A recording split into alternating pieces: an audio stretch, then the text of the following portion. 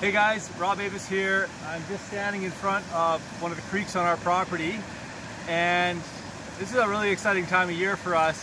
First spring we've been on the property and um, we knew that there was a couple of beavers upstream and it looked like, well it didn't look like, couple, our dog brought a couple beaver tails back to us and so we thought maybe we had lost our beavers and we weren't really sure what was going on. The other thing that happened is we had a really big flood event and uh, a couple of their dams upstream blew out.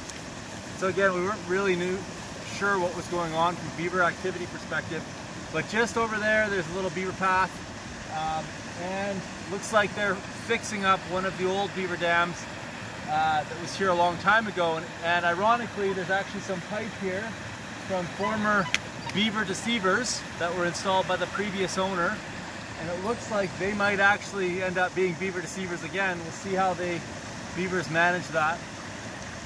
But it is pretty clear that they're starting to repair this pond. Now what's really exciting about that is that the creek level is pretty low in the ground. It's incised, which has exposed a lot of the, the banks, which means that a lot of the water harvesting potential in this flat area is not occurring because that's our new puppy. She's she's pretty excited about the beavers as well. Hey? Anyhow, um, as the level comes up, that water is going to move laterally through the floodplain.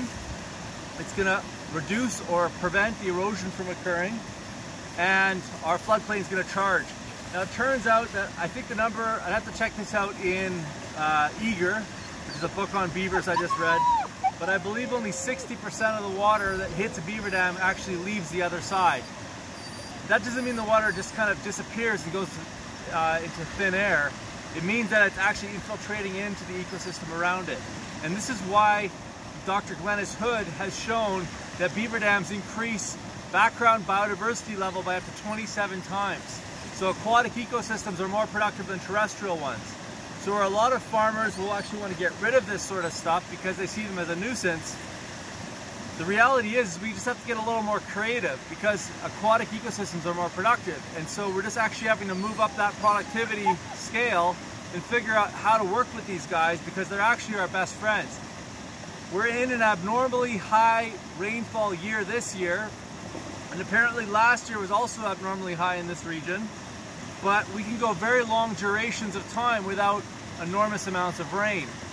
And so these guys actually take the spikes and the troughs and they create level opportunities so that we have water during the dry and wet seasons, uh, which is why it's so beneficial to work with them.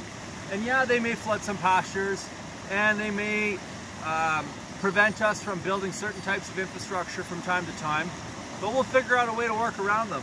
And that's one of the reasons I bought this property was that I wanted to figure out how regenerative ag can actually work with the beavers themselves. So we'll keep making videos on this. We'll show the progress of these guys over here. And uh, let's hope that they create an incredible amount of uh, aquatic opportunity on this property. Thanks so much guys. We'll see you in the next video.